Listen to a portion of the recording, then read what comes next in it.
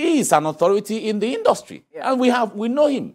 You understand? So uh, with uh, Femi Adesina now, who has been in the system, Shehu Garuba, who has been in the system. So when they finish their assignment with the president, are you saying they are now coming lower if they are coming back into the That's how some persons view it. Those persons don't have the right understanding of what this thing is. It's just an assignment. So when you finish your assignment, you come back to your original uh, assignments that you've been doing.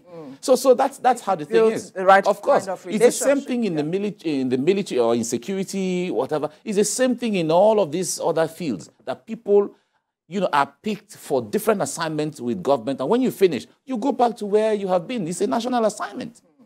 All right.